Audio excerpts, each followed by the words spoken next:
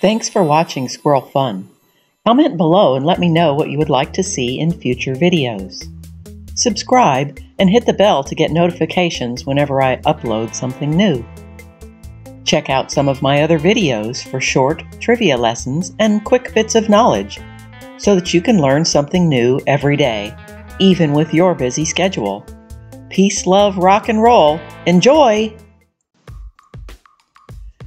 After President John F. Kennedy's assassination in 1963, history buffs began finding peculiar parallels between Kennedy and President Abraham Lincoln.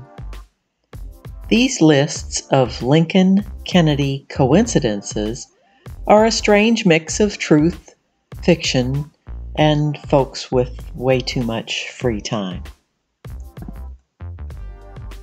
Fact Lincoln and Kennedy were elected to Congress 100 years apart, 1846 to 1946. They were elected to the presidency 100 years apart, 1860 to 1960. And they had successors who were born 100 years apart, 1808 to 1908. Fact Both men were shot in the head. Fact Both had successors with the last name Johnson Andrew Johnson and Lyndon Johnson. Fact The names Lincoln and Kennedy both contain seven letters. None of these common facts are particularly remarkable. The head is a logical target for a would be assassin. Johnson is a common last name.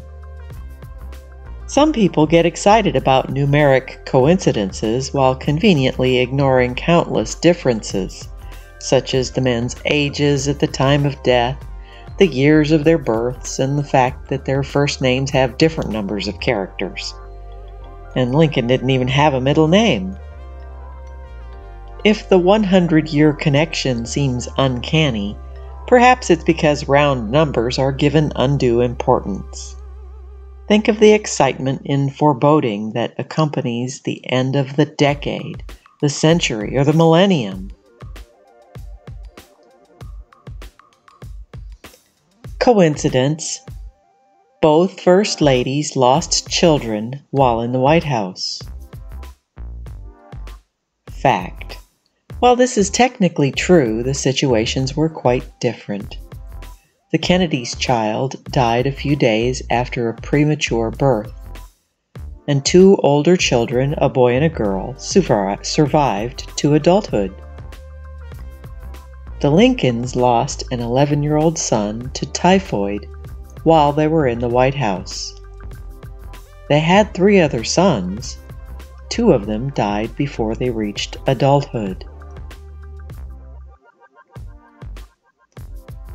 Coincidence Lincoln and Kennedy were both assassinated by and succeeded by Southerners. Fact Both men chose Southern running mates to help balance their tickets. Lincoln was from Illinois and Kennedy was from Massachusetts. That their assassins were both Southerners is debatable. Although Lincoln's assassin, John Wilkes Booth, sympathized with the South, he spent most of his life in the North and thought of himself as a Northerner. Kennedy's assassin, Lee Harvey Oswald, was born in New Orleans but moved around so much that he didn't identify as Northern or Southern. Coincidence. Both assassins were known by three names. Fact. Booth used the names J. Wilkes Booth and John Wilkes equally, whereas Oswald went primarily by Lee Oswald when he was not using one of his many aliases. Only after assassination did police and the media use his full name to ensure proper identification. Perhaps the most interesting observation about these men's names is that many people don't believe that either of them were the true assassins. Coincidence Booth and Oswald were both assassinated themselves before their trials. Fact Although both men were killed before going to trial, the details of their deaths were quite different. Two days after Oswald was captured by police, nightclub owner Jack Ruby shot him in the abdomen while he was in transit under police custody. A lawfully armed federal officer named Boston Corbett shot Booth in the neck as he was attempting to evade arrest. Such a scenario cannot be considered an assassination. Coincidence Lincoln and Kennedy were both assassinated on a Friday before a holiday.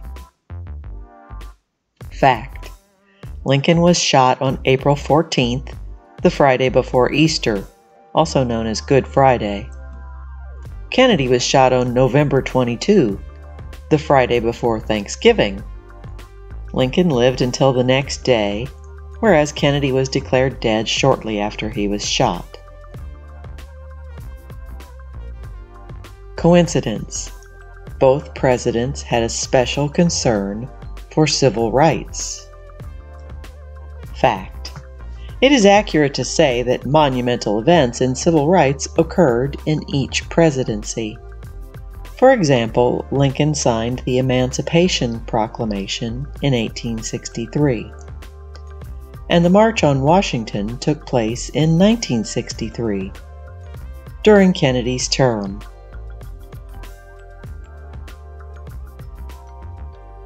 Myth Lincoln's secretary, Kennedy, warned him not to go to Ford's Theater.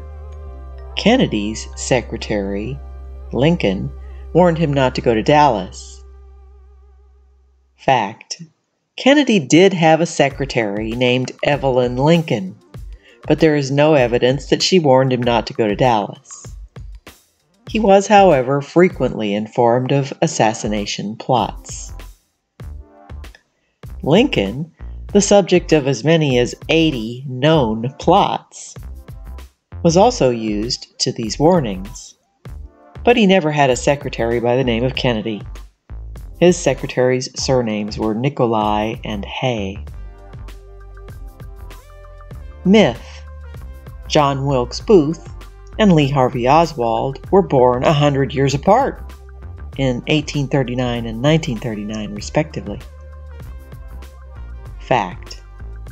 Even if it were true, it would simply be another instance of giving false meaning to a round number. But it's not true. Booth was born in 1838.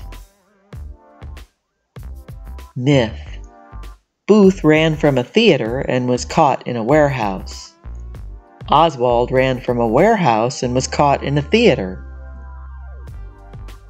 Fact Booth shot Lincoln in a theater during a performance of a play. He evaded police for 12 days, during which time he left the state and was eventually captured in a tobacco shed on a farm. Not really what most would consider a warehouse. Oswald allegedly shot Kennedy from the window of a book depository and was captured in a movie theater a few hours later.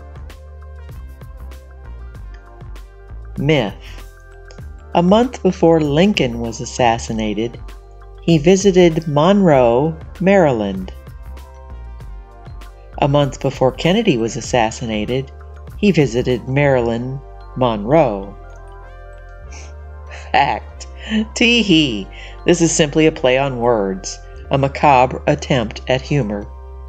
Marilyn Monroe, one of Kennedy's supposed lovers, died more than a year before his death. In addition, there is no location named Monroe in Maryland.